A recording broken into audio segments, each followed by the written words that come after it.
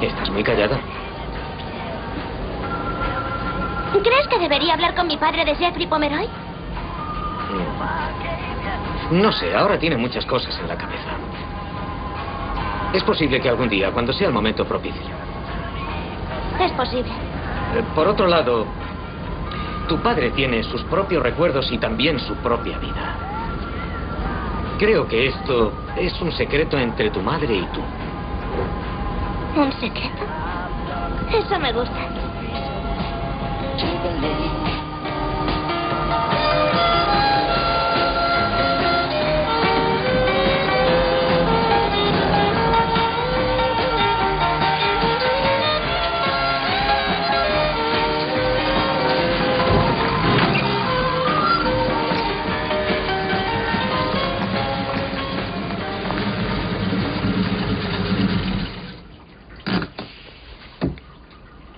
Creo que es esta.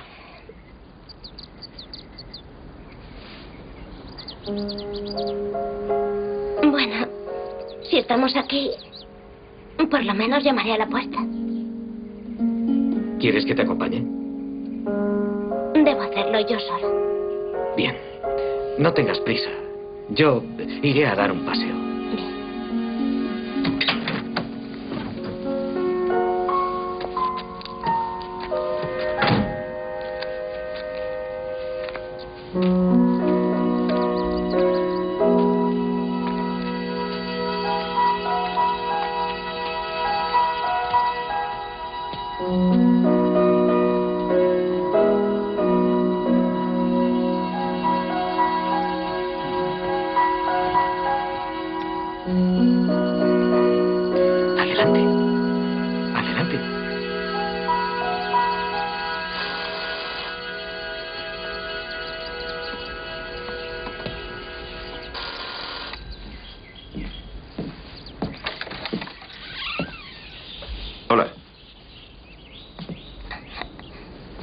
¿Puedo ayudarte?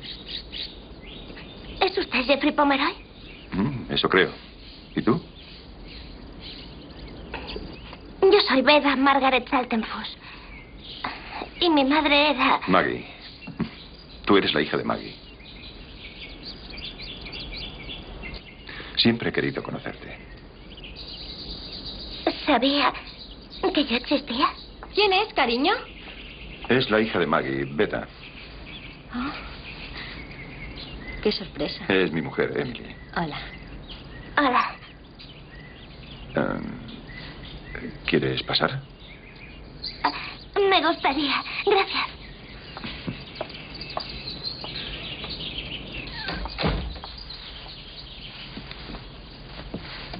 Mamá, papá, he pintado un arco iris. Venid a verlo. Esta es Veda. Veda, te presento a nuestra hija Katy. Hola. Hola.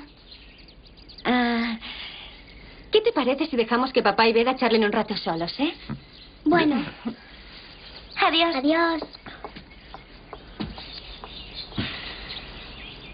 Se parece a mí cuando era pequeña. ¿Ah, sí? Me alegra que estés aquí. ¿Así? Sí. Ven, hablemos. Me dieron un trabajo en la escuela. Tenía que escribir sobre alguien a quien no conocía y elegí a mi madre. Nació en Los Ángeles y como mi tío Phil se mudó aquí, vine a visitarle. Luego descubrí su anuario de curso y amé a sus antiguos compañeros. Uno de ellos me dijo que fue a la Universidad de Los Ángeles y otro dijo que debería llamar a Hillary Mitchell. Hillary Mitchell. ¿Cómo está? Oh, muy bien, aunque un poco loca. Fue ella quien me dijo que tenías una camioneta Ford. Otro ex compañero que es poli se puso en contacto con el departamento de tráfico. Me dio mm, tu dirección y aquí estoy. Ya te dije que era una larga historia. No importa. ¿Sabes una cosa? Hablas como tu madre. Contaba excelentes historias. Historias con acentos locos y efectos especiales. ¿Efectos especiales?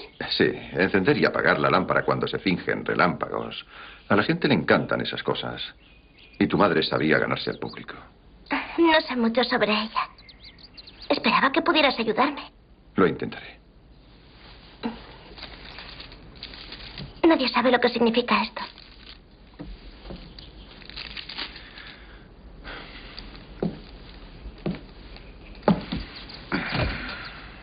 Verás.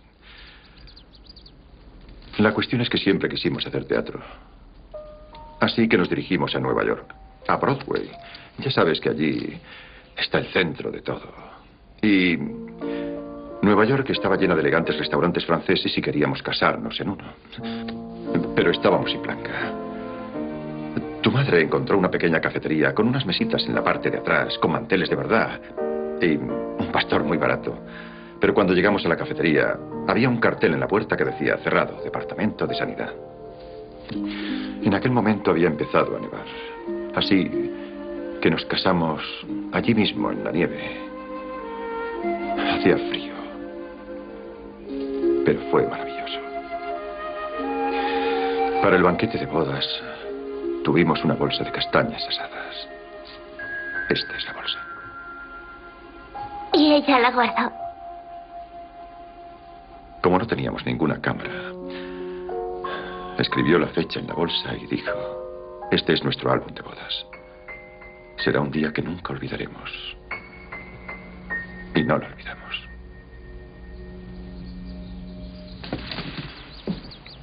¿Tienes alguna foto de ella? Tengo algo mucho mejor.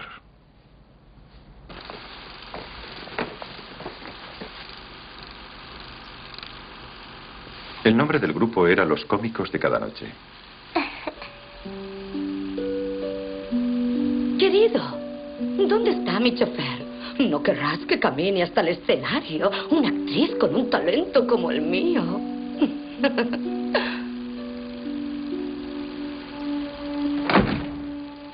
Es guapísima.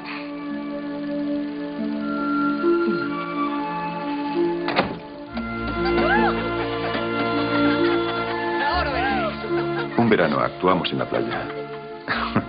Todo salió mal.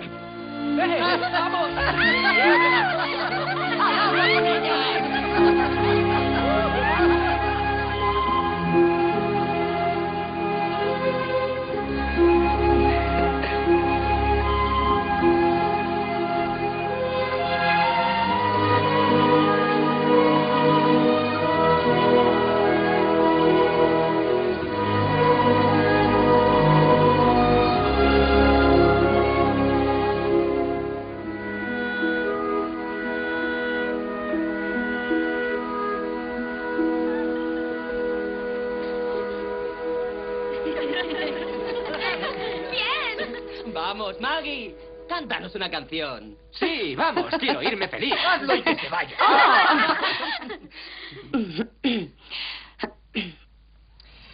Smile, though your heart is aching. Smile, even though it's breaking. When there are clouds in the sky, you'll get by. If you smile through your fears and sorrows, smile and maybe tomorrow you'll see the sun come shining